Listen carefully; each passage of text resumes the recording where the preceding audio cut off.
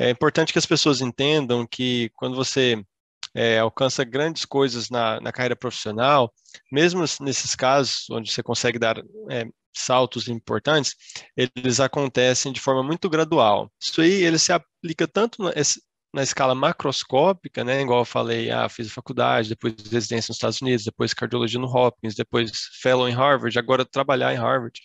Mas se aplica no microscópico também. São pequenos passos que a longo prazo ou médio prazo, pelo menos, eles acumulam em grandes grandes conquistas.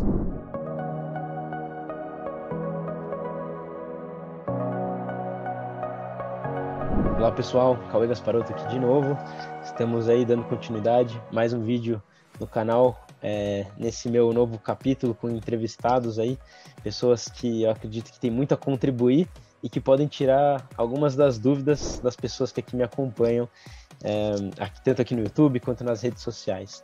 Então hoje eu vim falar com o Anderson Cardoso, ele é médico, é cardiologista, está atuando hoje lá nos Estados Unidos, é, dentro da Harvard Medical School, e como tem muita gente aqui que tem interesse em conhecer um pouco mais os caminhos para um dia ter essa experiência internacional, seja num intercâmbio, seja numa residência, ou mesmo construir sua vida fora do Brasil também, eu uh, quis trazê-lo para contar um pouco, compartilhar um pouco das experiências que ele já adquiriu e também falar um pouquinho sobre o que ele tem feito aí, o que ele tem visto de mais interessante nos Estados Unidos e com o público que ele também é, tem bastante contato aqui do Brasil, né, de estudantes que participam das in iniciativas que ele conduz. Então, Anderson, muito obrigado por topar participar do, é, dessa série aqui no meu canal. Vai ser um prazer bater esse papo com você. Ah, eu que agradeço, Cauê. É, muito obrigado mesmo. É, é uma honra para mim estar aqui e compartilhar um pouco da minha experiência com o pessoal. Responder as perguntas aí, espero que possa ajudar o pessoal é, nessa trajetória aí para quem tiver interesse de vir para os Estados Unidos, um dos muitos caminhos que que a medicina, a atuação na área da saúde proporciona para gente.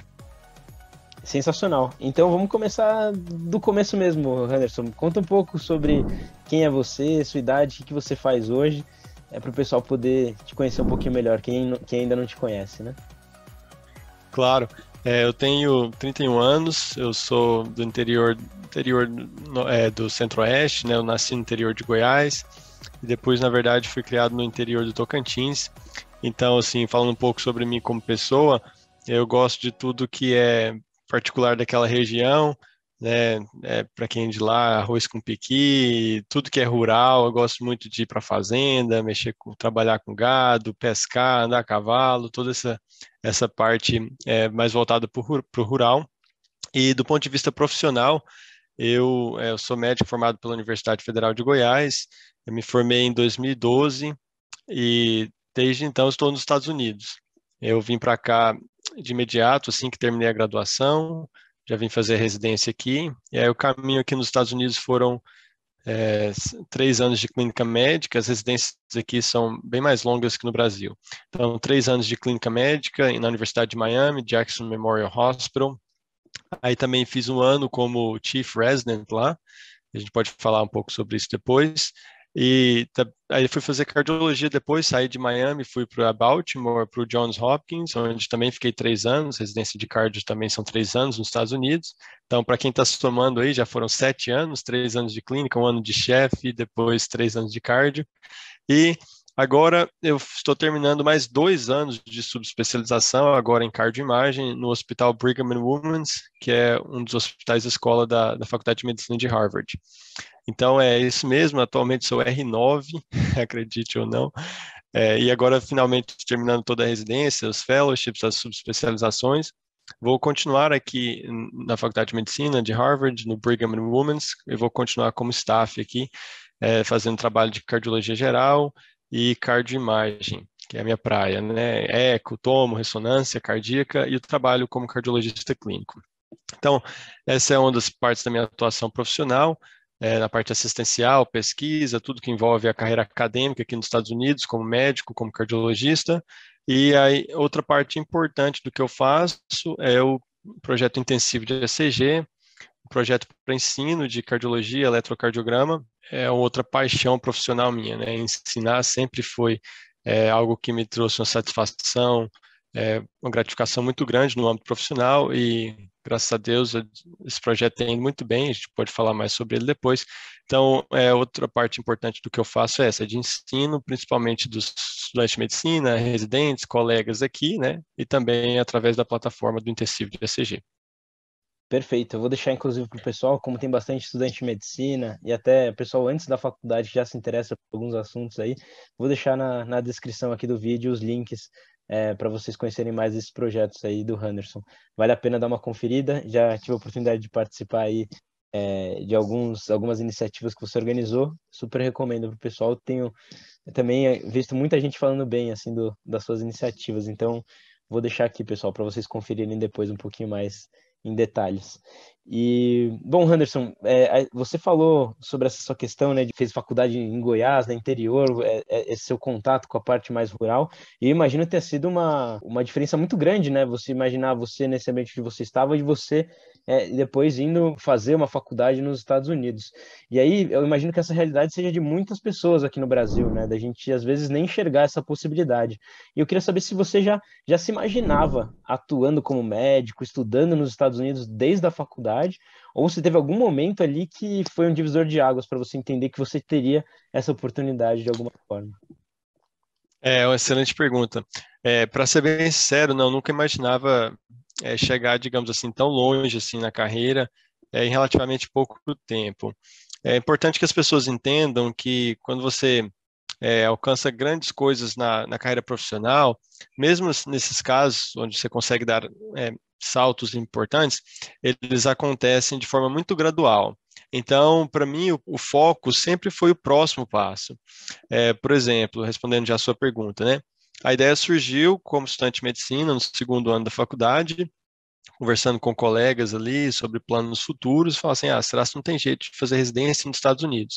Naquela época, é, assim, não tem tanto tempo, mas não tinha tantas informações disponíveis, amplamente disponíveis, como tem hoje, por exemplo, com a disseminação do Instagram, várias pessoas falando sobre isso na internet o tempo todo. Já tinha os fóruns, busquei muita informação na internet, mas minha fonte principal foi o próprio site oficial da revalidação do diploma nos Estados Unidos, que é o ICFMG. É, então, eu, eu foquei naquele passo, próximo passo de vir fazer residência nos Estados Unidos. E aí eu trabalhei nesse sentido. Aí fui para Miami, mesma coisa, fui fazer clínica médica lá. Eu sempre o foco foi fazer aquele trabalho bem feito. É, e aí isso aí levou a um próximo passo. Então isso aí ele se aplica tanto na escala macroscópica, né, igual eu falei, ah, fiz faculdade, depois residência nos Estados Unidos, depois cardiologia no Hopkins, depois fellow em Harvard, agora trabalhar em Harvard. Mas se aplica no microscópico também, pra, já fica o conselho para todo mundo, né?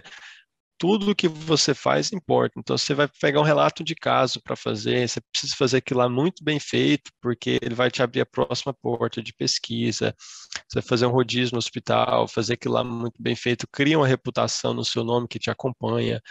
Então, é, é isso. É, são pequenos passos que, a longo prazo, ou médio prazo, pelo menos, eles acumulam em grandes, grandes conquistas cada porta que você abre vem mais outras duas, né, depois. Exato. É um efeito meio exponencial isso, com certeza. Isso foi algo que eu percebi também durante a minha carreira aqui dentro da faculdade. É, e muito interessante. Mas então, desde o segundo ano você já pensava em, em, estudar fora? E você começou a se preparar já no segundo ano? Você acha que foi um timing bom? Você acha que era muito cedo? Como se enxerga isso hoje?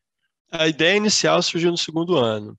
É, eu só para voltar um pouquinho atrás, eu tinha morado nos Estados Unidos quando eu tinha 10 anos, né? meus, meus pais trouxeram a gente lá de, de Paraíso Tocantins para vir para os Estados Unidos com o objetivo de, de aprender a falar inglês, né? É, o objetivo sempre foi ficar um curto período de tempo, não, não foi vir para cá para ganhar dinheiro, para realmente construir uma vida aqui.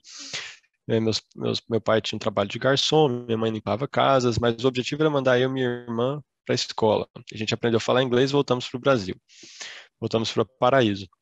E aí, então, eu já sabia falar inglês, esse era um ponto importante. Na faculdade, já tinha morado aqui, mesmo que há muito tempo, já tinha uns sete, oito anos que eu tinha voltado dos Estados Unidos, mas eu, eu sabia que sobre as oportunidades que se tem nesse país. Então, daí surgiu o interesse inicial. E aí, respondendo sua pergunta sobre como foi esse processo no segundo ano, do segundo, eu diria que do segundo ao quarto ano eu fiquei só considerando a ideia, ponderando se valeria a pena ou não. Comecei a estudar o material, mas tinha época que estudava mais, tinha época que estudava menos, não estava muito firme na ideia. Principalmente o que me limitava era a decisão, a barreira de tomar a decisão final, de bater o martelo, eu vou ou não vou. E isso é comum, é, é, é muito comum que as pessoas tenham essa dúvida e realmente é algo que você deve considerar muito, muito mesmo antes de tomar a decisão, porque é, não é só onde você vai fazer a residência, né? É onde você vai aprender a atuar como médico, que a maioria das pessoas acaba ficando, é, no, pelo menos no país, e muitas vezes na própria região onde faz a residência. Né? Isso acontece no Brasil, isso acontece é, aqui também nos Estados Unidos. É difícil você migrar de volta para o Brasil depois. Conheço algumas pessoas que fizeram residência aqui, acabaram voltando, mas enfim, é um processo, é uma decisão difícil. A maioria do pessoal que vem acaba ficando. Então eu, eu gastei muito tempo nessa decisão aí, é, e lá para o final do quarto ano, tomei realmente a decisão de vir, me preparei de forma assim necessária e fiz as provas é, e consegui depois é, a vaga da residência aqui. Então foi mais ou menos isso. Foi, foram dois anos aí só pensando sobre a ideia. Eu conversei já aqui com uma outra pessoa que também está fazendo residência, né? Agora está tá um pouco é, atrás aí na, na, carreira em relação ao, ao, momento que você vive hoje, mas está fazendo residência em Stanford e ele usou muito aquele material do USMLE. Você também tinha acesso a esses, esses conteúdos na época ou isso é algo mais recente? Assim? É, não, eu eu usei um método assim que hoje ele é considerado assim um pouco arcaico, diria assim, porque e na, na, época também eu poderia ter feito melhor, mas o que eu fiz basicamente foi ir lá no site do ICFMD, eu literalmente coloquei no Google assim, como fazer residência nos Estados Unidos, em inglês, né? Aí o primeiro site que aparece na busca é o ICFMD, né? Para quem não está familiar com o termo, é Educational Education No Commission for Foreign Medical Graduates. Então, é ICFMD é a instituição que regula as regras desse jogo, as regras da revalidação do diploma. Então, e eles têm um documento formal, um documento oficial que se chama ICFMG Information Booklet. Eu fui lá e eu li todo o Information Booklet, né? Eu não lembro quantas páginas tinha, mas eu li todas as regras do jogo. Eu falei, ah, então tá, então tem que fazer A, B, C, D e E, e eu comecei a fazer A, B, C, D e E. Então, não necessariamente explorei métodos diferentes de fazer todas as etapas. A primeira etapa era fazer o Step One. Eu fui lá e eu dei uma pesquisada geral, assim, nos fóruns, como que o pessoal se preparava, isso eu fiz. Só que eu, eu, eu literalmente eu fui lá e comprei na Amazon os melhores livros para estudar. Eu não fiz o cursinho, não tinha dinheiro para pagar, os cursinhos são caros aqui. E aí eu estudei o conteúdo no livro mesmo, né? O livro dedicado para o Step One, por exemplo. Tem até o livro de patologia aqui, é, que eu estudei na época, nem sei se o pessoal usa isso aqui mais, na época era o Rapid Review de patologia, era um dos melhores. E aí eu preparei para a prova. Fui assim, e com o Step 1, fui assim com o Step 2, e quando fui para fazer o estágio a mesma coisa, eu falei assim, ah, tem que fazer estágio, tem que pegar a carta. Então procurei, é, tinha um contato em Goiânia que tinha feito o estágio em Miami, falou que gostou, e eu fui para Miami fazer meu observership, né? Peguei o e-mail da pessoa, quais eram os pré-requisitos, nem explorei. Então, quando eu falo que era arcaico, não é nesse, talvez não é a melhor palavra. O que eu quis dizer é que eu não explorei é, métodos assim é, diferentes. Por exemplo, hoje é, você tem os recursos, por exemplo, de fazer uma mentoria nesse sentido. Não estou falando necessariamente que é, que é preciso fazer isso. Né? Muita, a maioria do pessoal, assim como eu, faz de forma independente. Mas tem muita informação além só dessa fonte oficial, digamos assim. Tem os fóruns, tem o Instagram, muita gente falando sobre isso. É, tem as mentorias, igual eu falei. É, Outra coisa que eu não explorei, que vale a pena considerar, é vir fazer pesquisa nos Estados Unidos por um tempo. Você melhora muito a sua aplicação e, principalmente do ponto de vista acadêmico, é, te prepara, te, não é só a sua aplicação, não é só o seu currículo, você aprende muita coisa, aprende sobre como é a carreira de pesquisador nos Estados Unidos. Se você quer fazer uma carreira acadêmica que tem a parte assistencial e de pesquisa, aprende a escrever. Então, é algo que eu nem passou pela minha mente. Eu queria fazer residência nos Estados Unidos, então eu fiz seis anos de faculdade e fiz residência nos Estados Unidos, é isso que eu fiz. Então, tem muitos caminhos alternativos, você que aí que eu mestre do empreendedorismo e caminhos alternativos na medicina. Então, se serve o conselho, serve para o pessoal também, considerando a residência nos Estados Unidos, né? Saiba, então, a dica seria saiba todas as opções que são possíveis e dentro da sua realidade, seja ela financeira, seja ela de tempo, é, se prepare da melhor maneira possível para alcançar seus objetivos. Mas é importante demais conhecer as regras do jogo e as suas opções para tomar a melhor decisão possível. Eu até te perguntar um pouco disso antes da gente mudar para o próximo tema, que era, você, você falou que não, não tinha feito pesquisa antes relacionado a isso, mas na faculdade você já trabalhava com pesquisa? Porque eu sei que o pessoal nos Estados Unidos considera bastante também isso para admissão, né, em provas de residência e tudo mais. É um ponto importante, sempre que a gente fala de residência nos Estados Unidos, o pessoal tem que entender sobre a, a pesquisa. Então, para quem está na fase inicial desse processo, só uma revisão bem rápida, que nos Estados Unidos é muito diferente no Brasil a seleção para residência. Então, no Brasil tem o componente do currículo, né, mas ainda é muito focado em fazer uma prova é, geralmente específica, né, para cada hospital, né? Então vai lá a USP e, e cria a, a prova para seleção dos residentes. Enfim, nos Estados Unidos esse processo ele é muito mais global, holístico, né? Tem as tem as tem as provas de revalidação, então eles usam as notas para considerar os candidatos, mas mais que isso, tem é, carta de recomendação, tem análise de currículo, tem até análise assim, de fatores extracurriculares, tipo assim, é, trabalho voluntário, extensão, muito mais do que no Brasil. Isso é, tem um peso muito grande. É, as notas ainda são os fatores mais importantes, mas tem vários outros componentes. Agora, falando especificamente da pesquisa, é, quando o pessoal está aplicando para para clínica médica, por exemplo, que é o meu caso, as, as, as residências que são, assim, digamos, no nível de competição médio, né? Não estou falando aqui de dermato, ortopedia, cirurgia, a gente pode falar sobre elas agora. Mas sobre essas as, as, as especialidades mais gerais, né? Por exemplo, você colocar aí clínica médica, psiquiatria, pediatria, enfim. É, se você fizer um trabalho muito bom nas provas e ter um currículo médio, isso é suficiente de termos gerais. Agora, o que, é um currículo médio? Que era o que eu tinha. Né? Eu tinha posters em, apresentados em, em, congressos no Brasil, tanto a nível regional, né, congresso goiano disso, congresso, é, enfim, do Centro-Oeste, e tinha trabalhos a nível nacional. No Brasil, é, de cardiologia, enfim, mas só posters, não tinha nenhuma publicação no PubMed, nenhuma, meu nome não aparecia no PubMed no momento que eu apliquei para residência nos Estados Unidos. Isso foi suficiente para um bom match, né, em clínica médica na Universidade de Miami.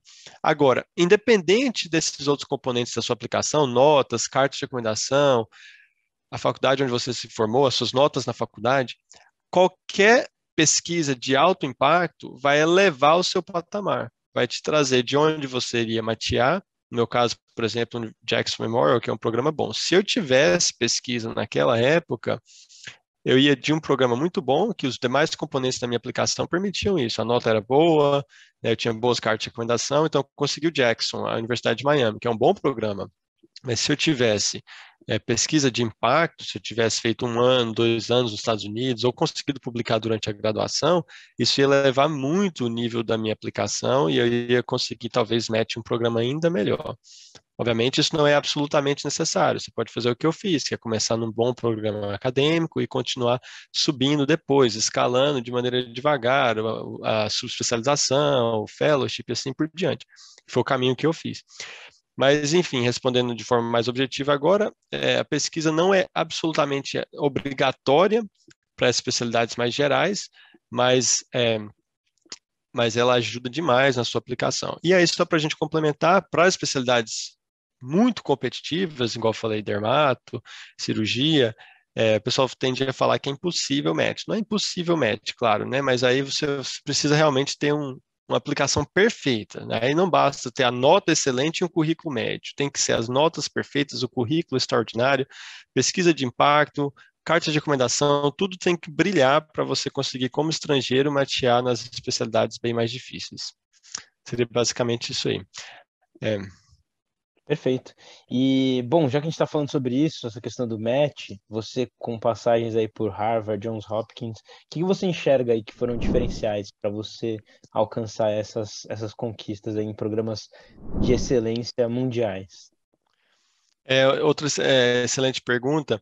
É, eu, eu, eu, vou responder isso em, em alguns termos gerais que se aplicam, digamos assim, para você ser um bom médico, né, para independente se no Brasil, nos Estados Unidos e tal. E também em termos específicos para para instituições de ponta nos Estados Unidos.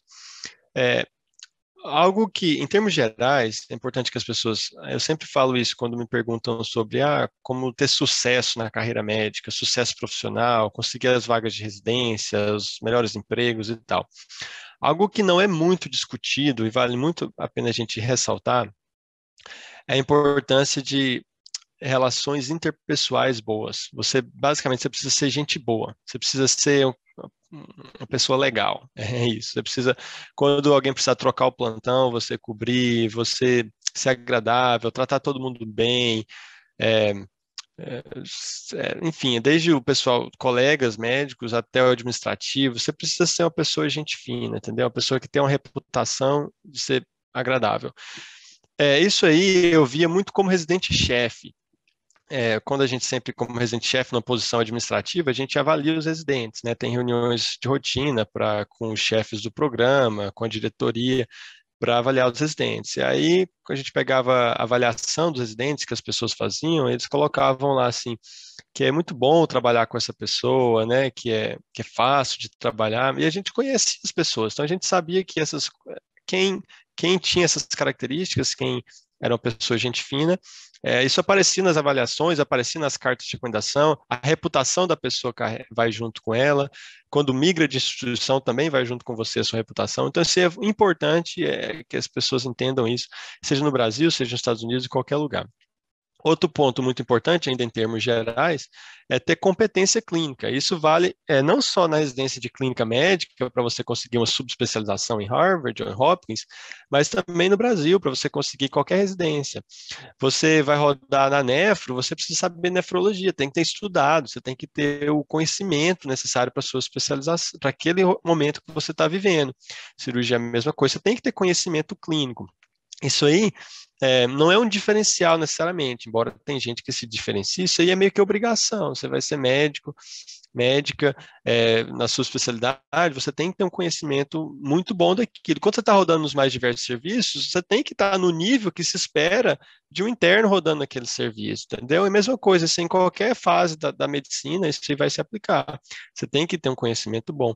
E o terceiro componente geral, para a gente fechar, eu sempre falo, você tem que trabalhar pesado, sabe? Tem que conhecer seus pacientes muito bem, passar visita, tem que saber o que está falando, tem que chegar lá mais cedo que todo mundo, sabe? Quando você for fazer uma pesquisa, por exemplo, tem que entregar o resultado. Se, não, se você pegar uma coisa para fazer e não entregar aquilo, ou entregar muito mal feito, então isso aí pega muito mal. Então, esses componentes que eu falei, né? A pessoa trabalhar pesado, ser gente boa, né? É, ter competência na área clínica, ser um bom médico, isso aí vale independente se quer fazer residência no Brasil, nos Estados Unidos, em qualquer lugar.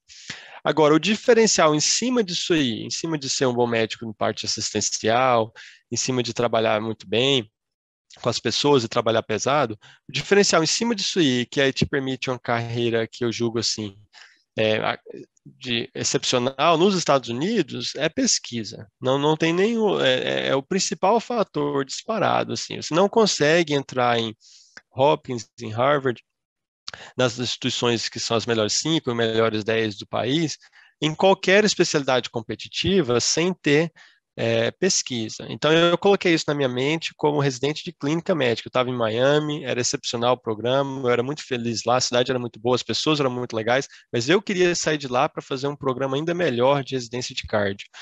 E então eu me dediquei assim, ao nível máximo em pesquisa. Eu trabalhava 80 horas por semana na residência e à noite, final de semana, feriado, estava fazendo pesquisa. Eu consegui publicar uns 20 papers, assim, em três anos de residência, é, a maioria deles como primeiro autor, e isso aí foi, é, foi é necessário para eu conseguir subir esse patamar da residência de clínica para para a residência de cardiologia no Hopkins.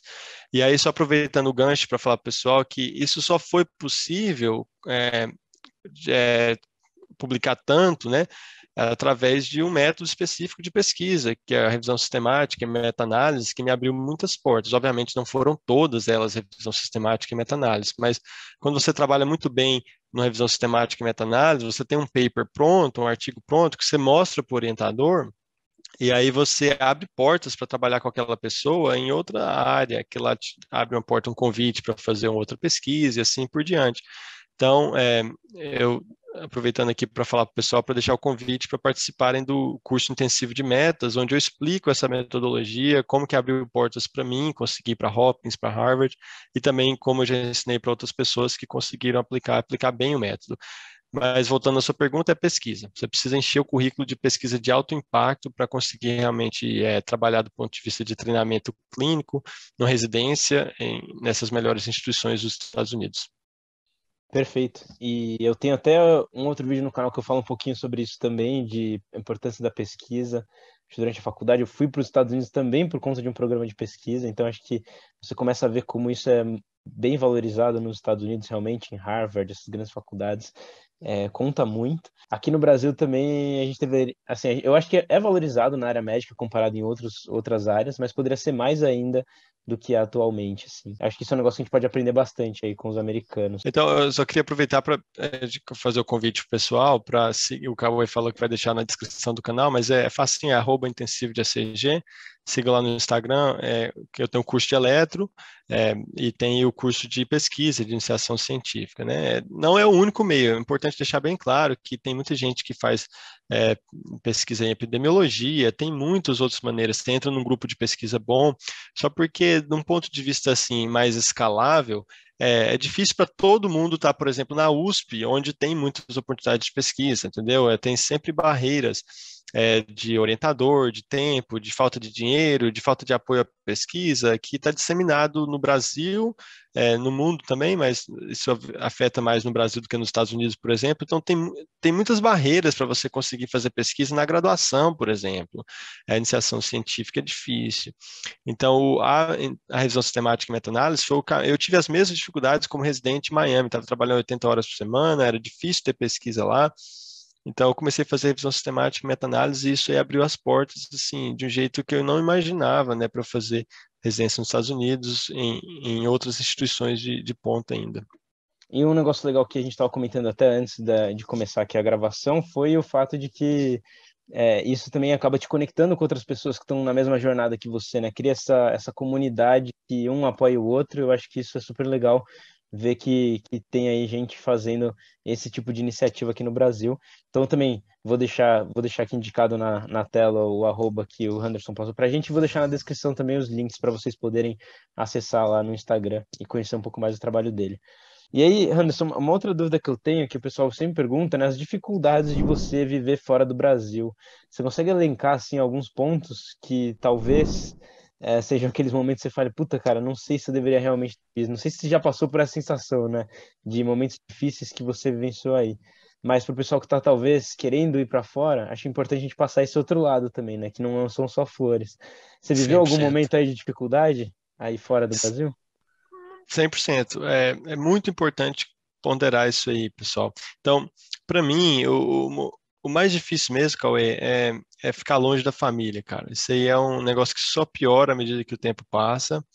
E eu, é, é, importante não subestimar isso aí na sua consideração. Eu já pensava muito nisso, sou muito apegado aos meus pais, à minha irmã, e eu sabia já naquela época que seria difícil voltar quanto mais o tempo passa aqui, mais dá vontade de voltar, mas também é difícil se adaptar à realidade de praticar uma medicina que é diferente do ponto de vista administrativo, de organização, né, até a relação dos médicos com formas de pagamento, por exemplo, né, é, eu não penso em, em, em, guia, em seguro aqui nos Estados Unidos, né, os, os hospitais é, têm sistemas próprios para lidar com isso, é, então eu teria muita dificuldade, resumindo, para voltar para o Brasil. E, e isso aí pesa muito, cara, pesa muito, sabe? É, à medida que o tempo passa. Agora, do ponto de vista das outras coisas, mais coisas, uma, algo que, por exemplo, preocupa muito o pessoal no Brasil é, relação, é em relação à barreira da língua e, e, preconceito, assim. E eu nunca tive nenhuma situação na minha atuação profissional, seja com pacientes, seja com outros profissionais, é, em, na questão de preconceito, sabe? De alguém, é, porque eu era médico estrangeiro, me, me tratar mal por conta disso. Sempre fui muito bem tratado, todos os lugares onde eu passei. Isso é algo que acho que não deveria preocupar é, as pessoas que estão considerando vir para os Estados Unidos. É, eu gosto muito de morar aqui, então é, realmente bate saudades das coisas de casa, né? Igual eu falei que eu sou lá de Goiás, às vezes dá vontade de comer um arroz com piqui, essas coisas assim, mas, mas do ponto de vista de é, é, qualidade de vida, custo de vida, trabalho, as condições de trabalho aqui são excepcionais, sabe? Principalmente comparado com as, as dificuldades que a gente encontra no Brasil. Então, todos os demais aspectos, tanto da vida pessoal quanto profissional, até mesmo a parte financeira aqui nos Estados Unidos, tudo isso eu diria que favorece vir para os Estados Unidos, favorece uma carreira aqui, é, se, se as pessoas estão considerando isso aí. Agora, a família e a, o apego a, a, ao Brasil como um todo, eles, eles devem ser considerados. E você acha que existe um momento ideal para a pessoa ir para fora, para ela viver essa experiência, seja antes, durante ou até mesmo depois da faculdade? E quando que ela deveria começar a se preparar se ela realmente sonha em fazer uma residência e viver fora do Brasil? É, é uma pergunta muito boa também. Ela deve a nível individual, essa pergunta assim, depende do nível onde você está quando você está considerando esse processo. Por exemplo, né, a, a, maioria do pessoal que vem para os Estados Unidos, eles começam a considerar a ideia é, quando estão terminando a faculdade, ou às vezes quando estão até fazendo residência no Brasil, né, quando se depara com algumas condições difíceis de trabalho, por exemplo, remuneração que não é, é ao nível que merecido que as pessoas pelo trabalho, enfim. Então, se você considera isso quando você é residente, nunca pensou nisso aí antes, né? Aí, ou, ou se é no internato, independente do momento, o que eu acho que a pessoa tem que fazer é, de novo, voltando nas dicas que eu tinha passado antes, é, é conhecer bem o processo, conhecer as regras do jogo, fazer uma estimativa de tempo que a pessoa vai investir para se preparar, custos, né, parte financeira, como que vai financiar isso aí, e aí montar uma estratégia de, é, que se encaixe na vida pessoal da pessoa. É, eu diria, respondendo a sua pergunta, sem considerar esses fatores individuais, né, se o objetivo é vir para os Estados Unidos, comece a preparar desde já. Então, foi o meu caso. segundo ano de faculdade veio na mente essa ideia, eu passei algum tempo ponderando se eu deveria vir ou não. Quando eu decidi fazer, eu fiz. Eu fui lá, estudei três meses para o Step One e fiz tudo, todo o processo. Então, é, se o propósito é realmente vir, não tem por que perder tempo. Quanto mais cedo, melhor. Seja no segundo ano da faculdade, comece a se preparar já. Estude inglês, pegue os livros do Step One e comece a estudar. Em vez de estudar fisiologia no, é, no Guyton em português, estude no Guyton em inglês, por exemplo, ou, ou qualquer outro livro do Step One, enfim. Então, o momento mais cedo é desde o momento melhor é, é mais cedo desde que você tenha tomado essa decisão. Mesma coisa você está na residência. Residência, muita gente toma, pensa em vir quando está fazendo residência. Como as residências no Brasil são mais curtas, né, dois anos, por exemplo, clínica médica, se está no meio da residência, eu geralmente aconselho o pessoal a terminar, porque ela vai ser muito valorizada aqui e você terminou a residência no Brasil, se precisar voltar depois. Então, a sua, o seu treinamento no Brasil vai ser muito útil aqui e também vai ser útil na sua aplicação. Ah, você já fez residência de clínica no Brasil, agora você quer fazer clínica aqui, ou você quer fazer anestésio, isso aí vai ser muito, muito valorizado. Então, é o mais cedo possível. No HackMed a gente tem uma tradição aqui, de sempre que a gente faz um podcast, traz algum convidado, a gente tem uma, uma parte final que a gente chama de hacker conectado, que a gente pede uma indicação de livro, filme, série, e eu queria pedir, antes da gente finalizar aqui o nosso, nosso vídeo de hoje, uma indicação aí para o pessoal que acompanha a gente aqui. Se você tem alguma coisa aí legal que você está assistindo, ou mesmo que é algo que você já assistiu antes e que você recomenda para a galera que está assistindo a gente aqui hoje. Em relação a filme, eu vou passar uma indicação para o pessoal, que é uma história real. Eu gosto muito de ver filmes é, reais que contam a história de, de pessoas mesmo que vivenciaram problemas é, importantes e principalmente como elas, assim, contando a experiência de pessoas. E um desses filmes que que me marcaram muito, assim, que eu achei muito impactante aquela história, é um filme, eu não sei a tradução em português, em inglês chama Something the Lord Made, né, a tradução literal seria, seria algo que o Senhor fez, mas tenho certeza que o nome não vai ser esse em português.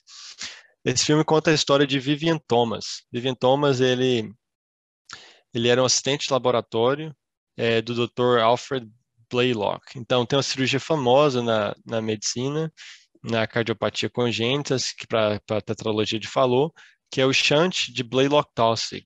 É, um, é uma cirurgia que revolucionou a, a, a, história natural dessa doença. Essas crianças nasciam cianóticas e morriam nos primeiros anos de vida, e é um shunt paliativo, é uma cirurgia brilhante que permitiu essas crianças viverem por aí décadas, na verdade. E esse shunt leva o nome de Blaylock, que era o Dr. Alfred Blaylock, e, e o e da doutora Tossig, que era uma pediatra. Eles trabalharam nesse conjunto. Não vou contar toda a história do filme aqui, mas tem uma terceira pessoa que participou muito nessa cirurgia aí, no desenvolvimento da técnica, que era um assistente de laboratório, não ganhou o crédito necessário por questões de preconceitos raciais e, e tudo isso. E depois, no final da vida, começou a ter esse, todo esse reconhecimento que, que era merecido. Então, esse filme é um filme que, que vale a pena é, o pessoal ler, sim. Vale a pena assistir. É, em relação a livro, rapidinho, é, deixa eu pensar aqui.